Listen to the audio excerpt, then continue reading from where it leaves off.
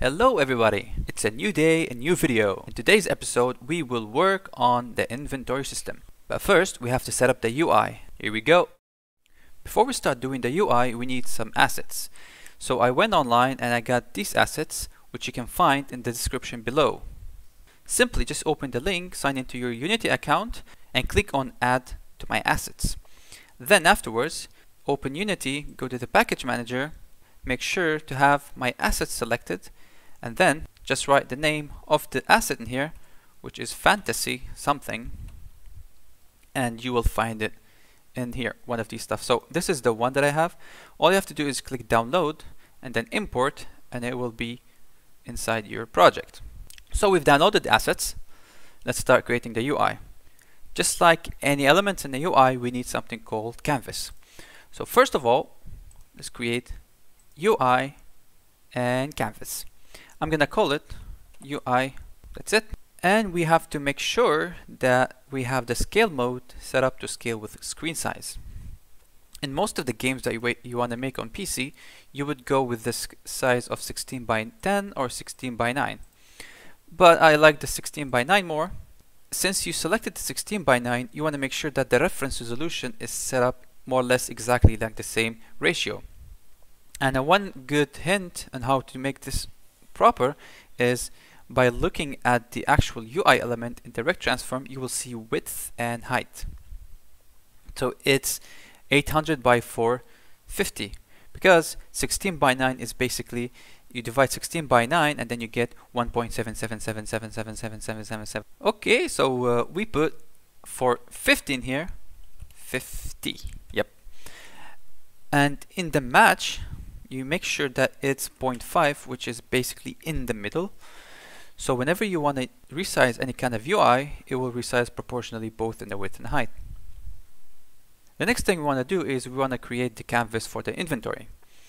Let's go into the UI right click and create an empty game object. Let's call it inventory panel. We should leave the game scene and go back to the scene view zoom out and we'll see that this is our UI canvas whereas this is our inventory.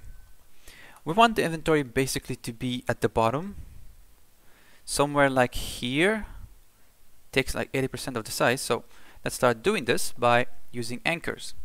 Anchors are the setting points of every UI element. For example, the UI has an anchors full of the screen so what that means is it's basically taking the x0, x1, y0, y1. So it's stretching to the full screen. Whereas this element has the anchors of 0 0.5, 0 0.5, 0 0.5, 0.5. And they're indicated in these small ticks in here. So every element has anchors. And you can see that if I choose this bottom left one, which is the x minimum, and start playing with it, you will see that the x minimum is changing and then if I start to go in the vertical the y minimum also changes.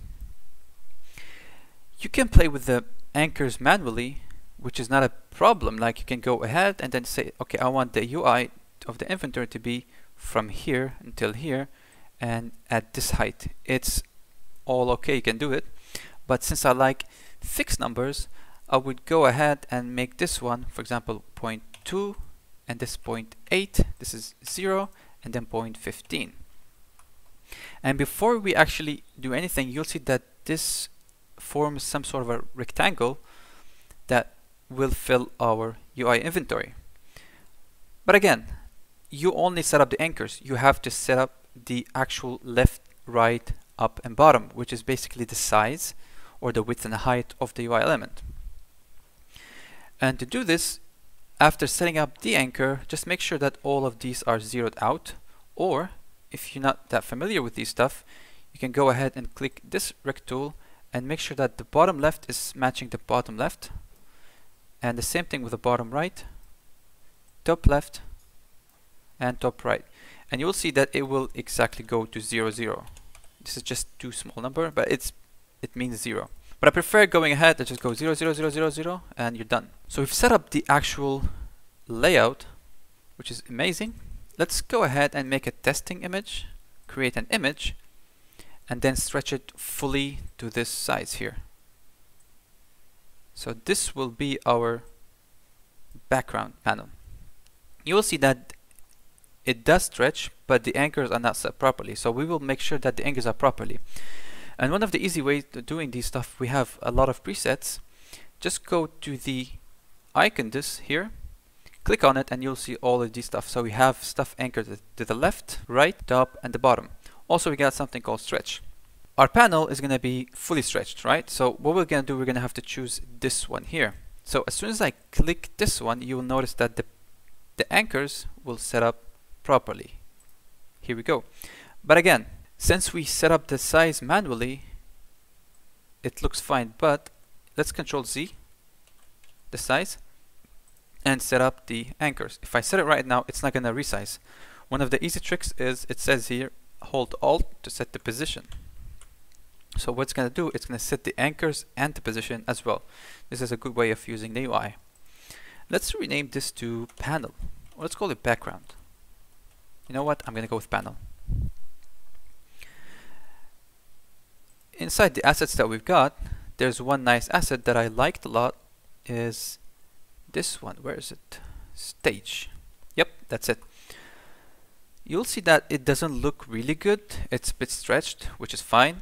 Um, you probably have set up a specific uh, UI for this one. But again, if you don't see that, if you don't feel like this one is really good, all you have to do is just play with the inventory panel anchors. Let's say it needs to be higher. Let's increase the height 2.2 and then either drag this upwards or just make sure that the top is zero. I think this looks way much better. So we've set up the panel. Now we have to set up the item slots. So in every inventory system, you will get several slots in here that you can have items inside of them or click on them to equip or use, etc. Let's start by adding a new image. What we're going to do is the image will, will house the actual slot size and then inside of it we will have the item image which will be clickable. Let's call it um, inventory uh, inventory slot 1 brilliant. And one of the items that I found in here is you can get this one which is nice but I like this one more again you might have your own elements. Feel free to use them. I haven't set this up. Here we go. So we've set up this thing. Let's make sure that the sizes fit inside. Let's go 70 70 its flush is almost 60 now it's too small. I'll go with 70 right?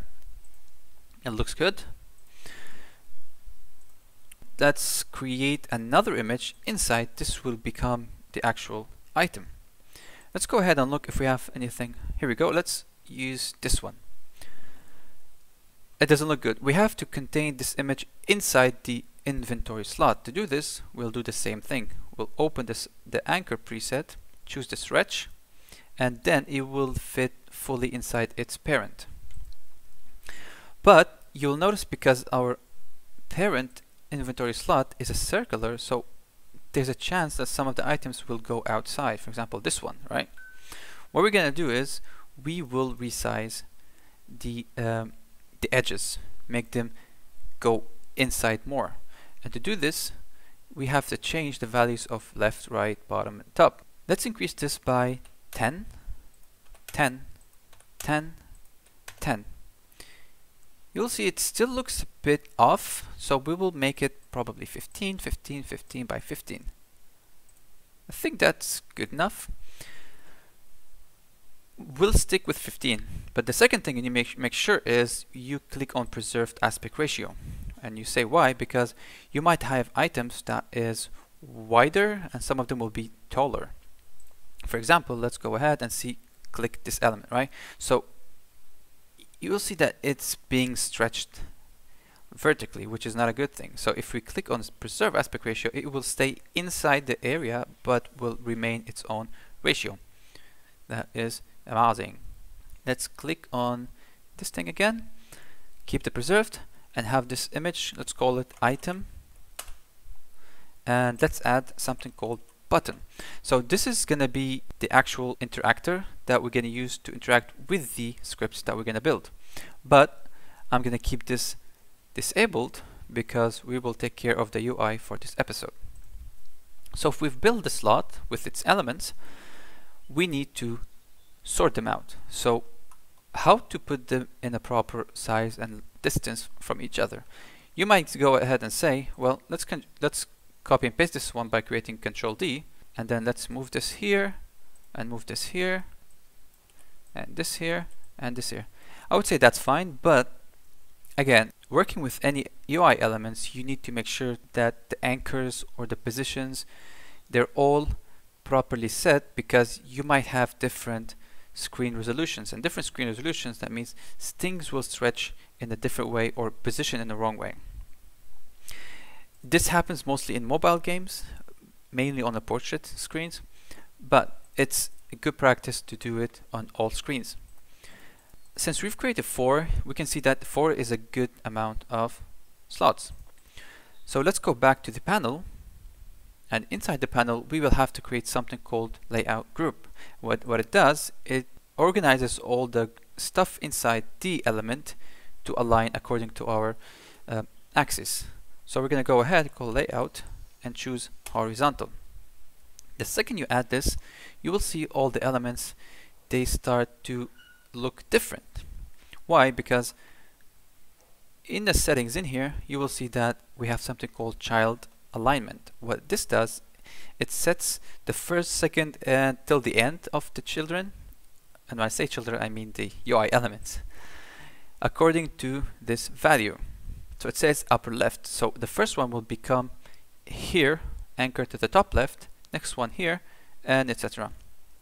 In our case, we needed everything to be in the middle and in the center. So we'll go ahead and look for middle center. So if you want to try ahead, let's go ahead middle left. So it will put them in the middle, but they'll start from the left to the right. We will want them to start from the inside out. So if you disable this one, you will see that they will align according to that alignment. So we fixed the alignment. The next thing we have to do is fix the padding. What padding means is an extra buffer for sizes on the sides, whether up, down, left, or right, that pushes all the elements inside. So just like putting a cushion to avoid that element being there. For our case is we see that the panel is this big, but the actual UI graphics are up until here. So we want to make sure that we're going to push everything on the left side inwards and the same thing from the right side inwards. This will be done through the padding. If we use the padding and start increasing, you will see that it's gonna go inside bit by bit. And if I'm not mistaken, I guess 50 is a good value. We will apply the same value to the right as well. Let's go 50, and if we go back to the game view, we'll see that they are aligned properly. Again, you can have it bigger according to your own taste. Also the sizes you can play with them however you want. Uh, there are some other features in the layout group which we don't have to tackle right now but I'm going to explain some of them. For example, child force expand it's ticked by default. What this does it it makes sure that all the elements they are aligned in a way that fits all the canvas and what that means is for example we have four elements, right? So four is basically four quarters. So this will fill 25%, 25%, 25%, 25%. That what this does. And if we reset everything to zero, you will see that exactly what happens because everybody is aligned as it is. But if you disable it, it will not stretch them to fit the whole canvas, which can be used for different kind of reasons. So you can use it this way and then play with something called the spacing. And the spacing will increase the size between the elements. So it has a different range of things that you can use, but I'm going to keep using the child force expand because I want it to actually fit the whole thing and then add the padding on the sides. So this is set up. I will make sure that the namings are set up properly and then we'll go back to the game view and we'll look at it. It looks perfect. So this will be used as the UI elements for our inventory system, which we will be working on in the next video. I hope you enjoyed this video. If you did, hit the like and subscribe. And if you got any questions, hit the comments below or join our Discord channel, which is in the description below. And last but not least, I'll see you all in next video. Bye bye!